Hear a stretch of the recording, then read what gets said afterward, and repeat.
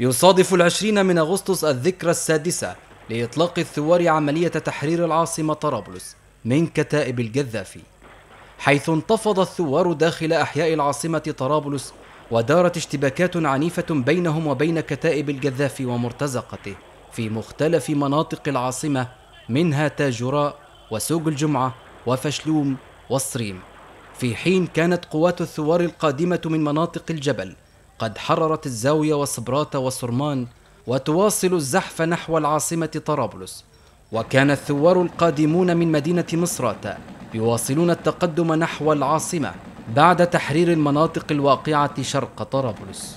شفشف قال لنا شفشف قال لنا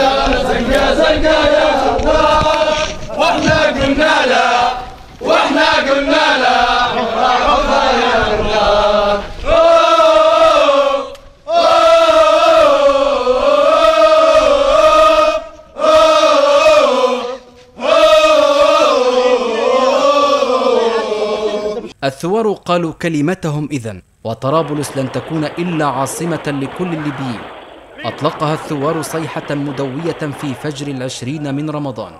وأي دلالة أن يصادف دخول الثوار الفاتحين لطرابلس بالتكبيرات ذكرى فتح مكة في العشرين من رمضان؟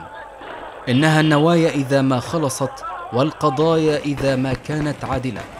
وهي العزيمة والإرادة التي لا تتحقق إلا بإخلاص النوايا وعدالة القضايا.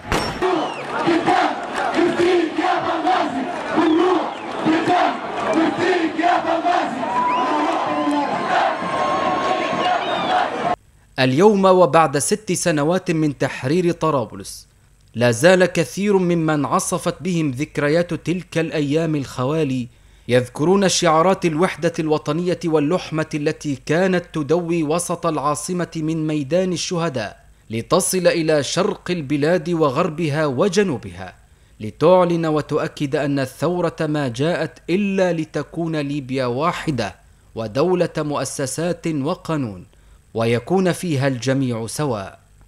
فهل سيكون لذكرى هذه الأيام أي صدى في دهاليز الحكم والسياسة؟ التي أصبحت تتنكر لفبراير وفضل ثوارها.